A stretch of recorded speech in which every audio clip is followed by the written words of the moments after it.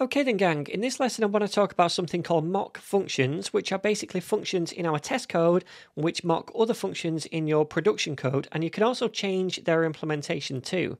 Now that might seem a little strange when you hear it like that, so let me go through an example and hopefully you'll see what I mean.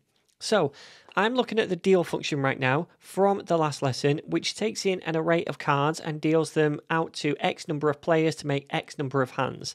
And inside this function, I added this little log deal round function call right here, which runs inside this for loop that iterates X number of times, once per deal round.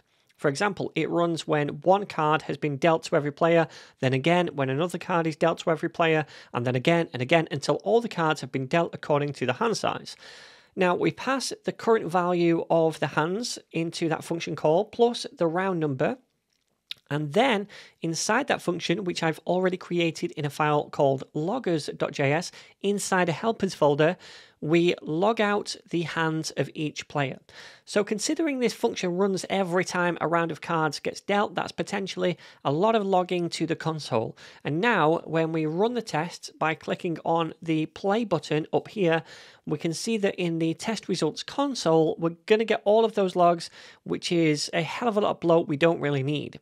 And also, it's quite distracting when we're really only concerned with testing the deal function itself. And in fact, we probably wouldn't care at all about this call to the logger function if it wasn't critical to the rest of the code, which it isn't. So, in scenarios like this, when we're testing one function, which maybe calls another function within it, we might want to mock that inner function call. And when we mock the inner function, we're basically telling Vitest to replace that function call whenever it comes across it with that mock one we supply.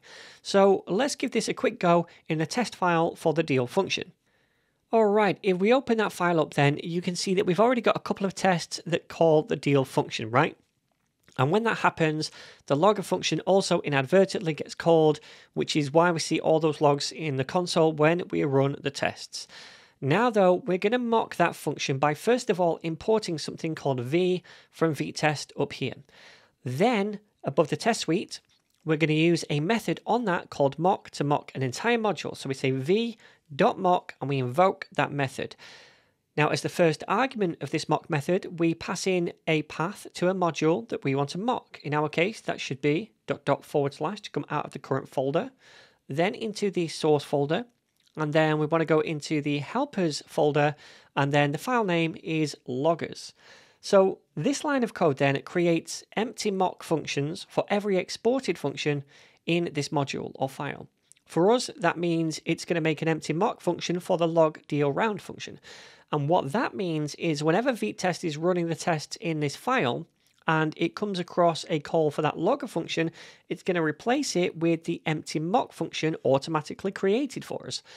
So then, if I save this file again, and then press the play button to run all the tests again, we should see that in the test console, we don't get those logs anymore because Vitest replaced those function calls with function calls to an empty mock function. So that was simple enough, right? We've made mock functions now for every function that might be exported from a whole module. Now, as well as creating empty mock functions for a module like this, we can also customize the body of a mock function. And we can do that by passing a function as the second argument here, which then returns an object. And this object essentially replaces the entire imported module. So inside this object, we should register any functions from this module that we want to customize the implementation of. In our case, we want to customize the log deal round function. So we can add that function name as a property right here in this object. Now, as a value to that, we create a mock function by saying v.fn and invoking that fn method. Inside the method, we pass a function that we want to replace the log function with. So let's pass in an empty function first of all, and then we can just customize the body of this function. So in the original implementation, we log out the player's hands for every round of cards that is dealt. And in this one, we're going to change that to just a very simple console log message instead, just so we can test that this works. And that message can be something like mock fn called. So what this means is that when we run these tests now and the deal function gets called, and then within that the log deal round function gets called, Vitest is going to replace that function call with this mock function right here. And therefore, we should see several of these logs to the console. So then, let's save this file and rerun the tests. And when we do that, we should see the new message logged down here instead. Awesome.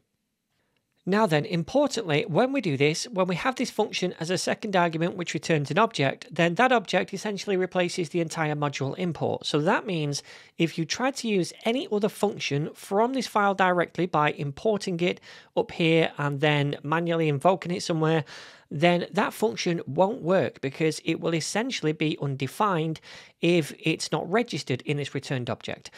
Using the log deal round one would still work and it would have this mocked functionality, but any other function from that module wouldn't work because it's not been specified right here. So, a way to combat this is by coming above the returned object and saying const, and then we'll make this constant called originals. We'll set that equal to await v, and then we're going to use a method on that called import actual, and we invoke it.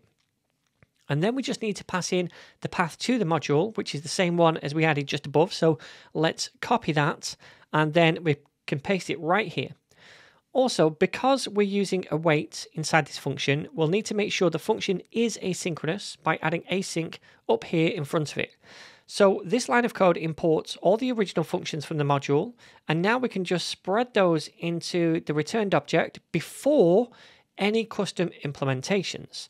So at the top of the object, we can say dot dot dot originals. And now the returned module, so to speak, contains all the original functions plus one mocked function, the log deal round one. And if we wanted to, we could add more custom mock implementations like this for other functions from the module by doing the same thing as we've done for the log deal round function. Okay, so we can also use any mocked functions directly within test to do things like track how many times it gets called or access its returned value. So to demo this, I'm going to paste in a new test case down here, and this one says it calls the logger correct number of times. So we want to assert inside this test, for whatever reason, that the logger function gets called the same amount of times as there are cards in each hand, right?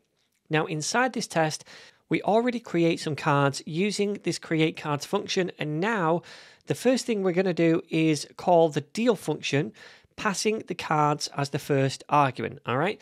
And then we'll say five for the hand size and three for the number of players. Then down here, we're going to make an assertion by using the expect function and invoking it. And then I'm going to pass in the name of the logger function, which is log deal round. Now, in order to use that function directly like this in this file, we need to import it right at the top. So let's do that by coming up and we will say import, then curly braces, and we want the log deal round function, okay? And that comes from dot dot forward slash to come out of the folder, then into the source folder, then into the helpers folder, and then finally the file name is loggers. Okay, so once we've done that, we can freely use the function in an assertion down here. And again, what I want to do now is use a match on this called to have been called times. And then we're going to pass in the number five. And it's the number five because when we invoke the deal function, we passed in five as the hand size. So that's how many deal rounds there should be. And by the way, if we didn't mock this function, log deal round, then we wouldn't be able to use this assertion and match it on it because we can't monitor functions by default. But when we make a mock function, Vitest can then monitor that function and detect things like how many times it gets called. Anyway, we're saying here we expect it to be called five times, which should pass, right? But when we save this file and we rerun the test, you're going to see that it fails. And it actually says this function was called 17 times, which is not 5. So why is that? Well, when we mock a function like we did at the top of this file, then Vitest keeps track of how many times that function gets called across all of the tests, not just one of them in this case, because we mocked it outside of an individual test, right?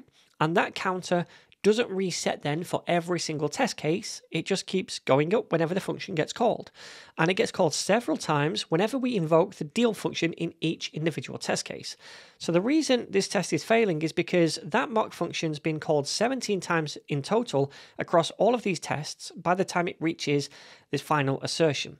Now to combat this, we can very easily come to the top of the test case and we can take the log deal round function, which is being mocked, and we can use a method on that called mock clear and invoke it. And what that does is it resets the counter for us back to zero, essentially. And now if we save this file and run the test again, then we should hopefully see them all passing again. Awesome. All right, so very quickly, one more thing. We can also access returned values from mock functions and use them. So for example, the function you mock might originally do something like maybe retrieve an interest rate and then return that number. And instead of that original logic being run as it is, doing something and returning what could seemingly be a random number, you can mock the return value to be something that you want to test. Now, we're not using interest rates or anything like that in this application, but I will quickly show you how it can be done. So let's come back to the mocked log deal round function at the top, and let's return a Boolean value from this function, like true. And now, regardless of what the original log deal round function returns, whenever Vitest comes across it in these tests, it will return the value true. I can demo that by coming back down to the bottom test case, and we're going to add another assertion down here by saying expect, and we want to pass in the log deal round function. And then on this, I'm going to add the matcher to have been returned with, and I'll pass true as the value into this matcher. So now we're asserting that when this log deal round function gets called from within the deal function, we're expecting that function to return this value. And because we mocked that function, we know what it does. But let's save the file and run the test again just to make sure, and hopefully we should see that all the tests are still passing. So then, my friends, that's how to mock functions, and there is much more to it than this, but to cover everything would take an entire course in itself. And that's something that I might consider in the future, but definitely read a bit more about it in the Vitest docs if you're interested. Next up, though, we're going to switch our focus to spies, which allows us to spy on function calls.